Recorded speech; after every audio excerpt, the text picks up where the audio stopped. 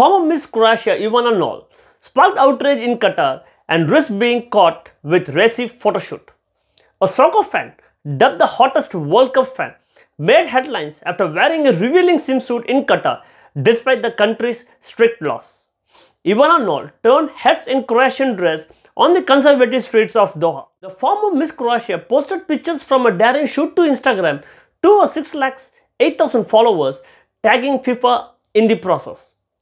Knoll also wore an open shirt as Croatia held off Morocco to a goalless draw at Al Bayt Stadium on Wednesday.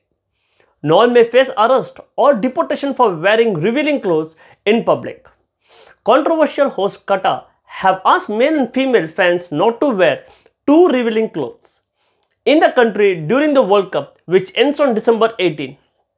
Visitors are expected to show respect for local culture by avoiding clothing that is too revealing in public, the Qatar Tourism Association said ahead of the tournament.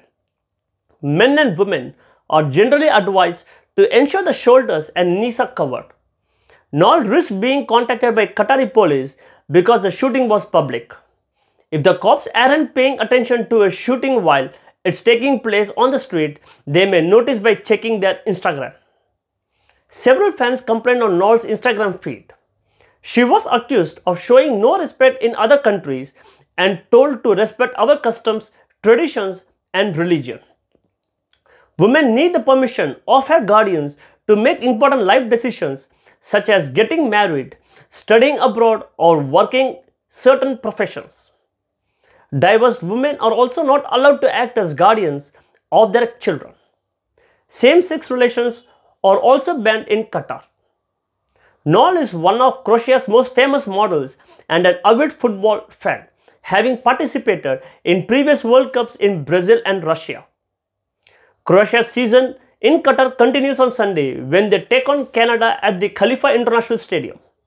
Their last group game is against Belgium on Thursday at the Ahmad bin Ali Stadium. Thanks.